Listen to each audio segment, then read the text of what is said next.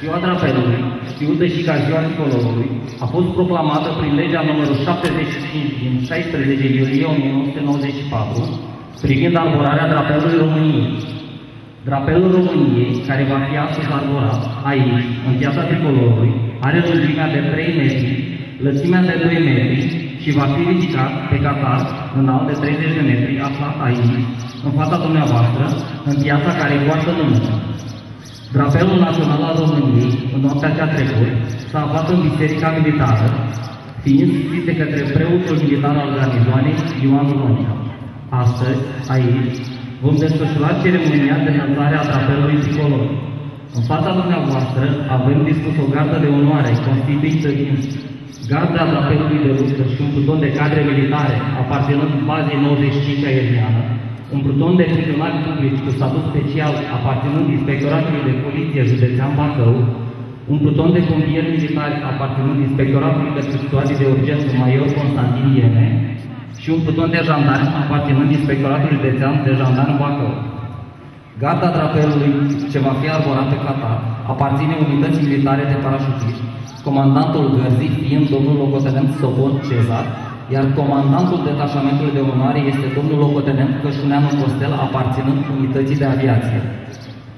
Muzica militară, aflată în flancul drept al formației, aparținând garnizoanei Bacău, va fi dirijată de către domnul locotenent Valeriu Bălan.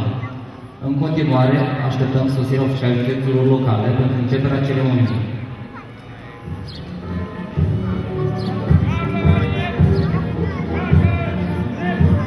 În acest moment sosesc oficialitățile locale pentru începerea ceremoniei.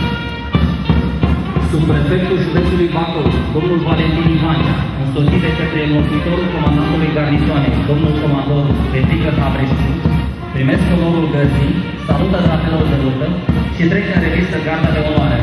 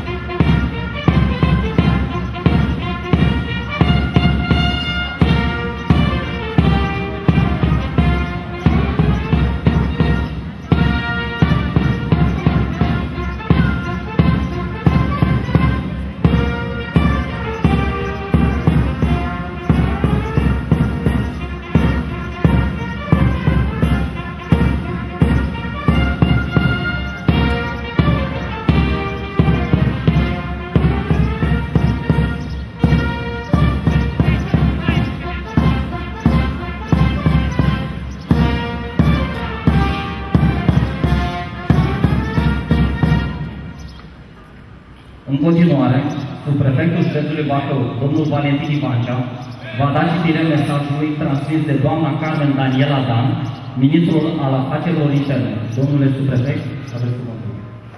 Vă mulțumesc. Bună ziua. Mesajul Ministrului Afacerilor Interne, Carmen Daniela Dan, cu prilejul sărbătoririi Zilei Drapelului Național. Sărbătorirea Zilei Drapelului Național ne face să ne întoarcem, măcar pentru o clipă, sufletul și mintea de la tumultul cotidian al preocupărilor noastre, către teme și subiecte de esență pentru ceea ce înseamnă România, cum ar fi importanța simbolurilor și a tradițiilor naționale. Iar drapelul României este simbolul național, primul, așa cum este enumerat la articolul 12 din Constituție. Sunt convinsă că fiecare dintre noi se simte mândru că tricolorul României stă cu demnitate alături de drapelurile celorlalte state importante ale lumii sau atunci când îl vedem înălțându-se pe cel mai înalt catar. Astăzi avem ocazia să sărbătorim și să cinstim drapelul național, indiferent de reușita cuiva, performanța sau rezultatul de unei competiții. Așa că, dragi români, vă îndrept să vă bucurați de această zi, să abordați drapelul național acasă, la muncă și oriunde acest lucru este posibil și veți vedea că emoția pe care o vom simți este aceeași. Pentru colegii mei din Ministerul Afacerilor Interne, militari, polițiști, cei care au depus jurământul de credință față de România, tricolorul este chiar mai mult decât un simbol național. El reprezintă forța și autoritatea cu care ei slujesc cu devotament și respect poporul român. Îmi doresc ca prin deciziile pe care le luăm și prin acțiunile noastre de zi cu zi să putem transmite generațiilor care ne urmează dragostea față de valorile naționale. Pentru că asta înseamnă unitate, forță și un viitor mai sigur pentru România. La mulți ani tricolori, la mulți ani România! Mulțumesc! Despre semnificația tricolorului și a drapelului de lângă, invit la microfon pe înlocuitorul comandantului garnizoanei Bacău, domnul comandor dr. Petrica Capreștiu, care va transmite mesajul militarilor băcăvani de ziua drapelului.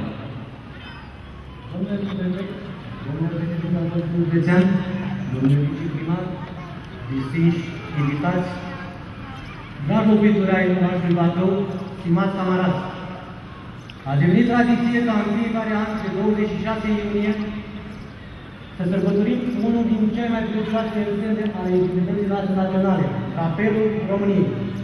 Drapelul reprezintă independența, suveranitatea și unitatea poporului român.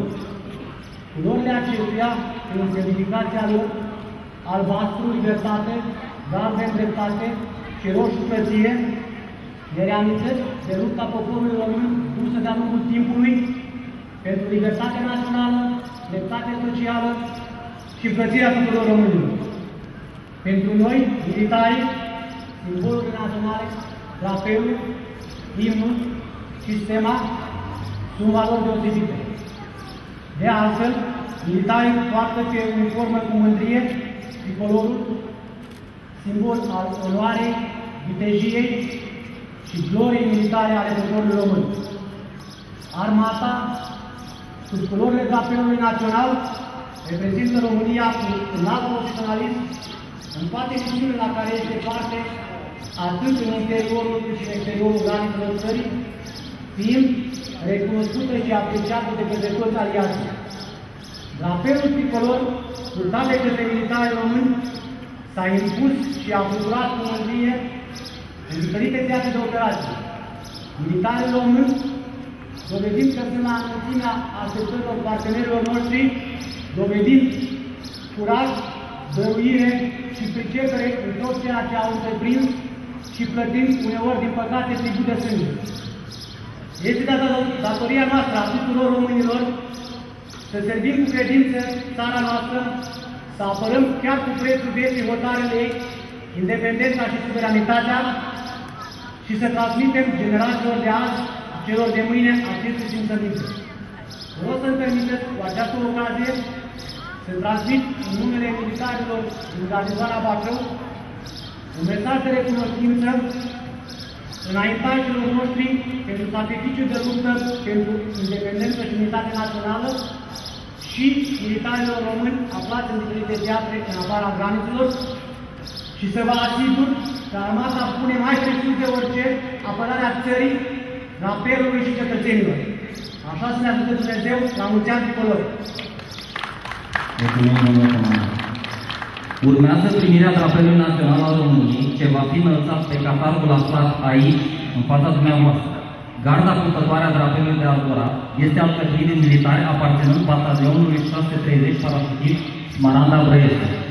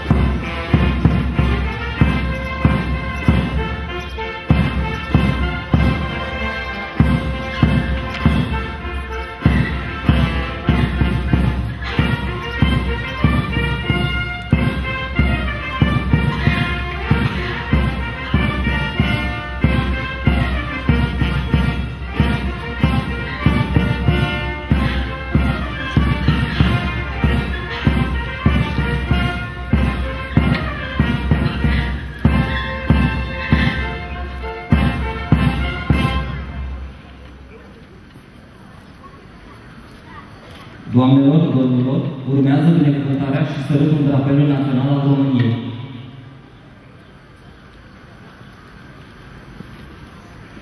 Gardă drept! Pe locul de pauză!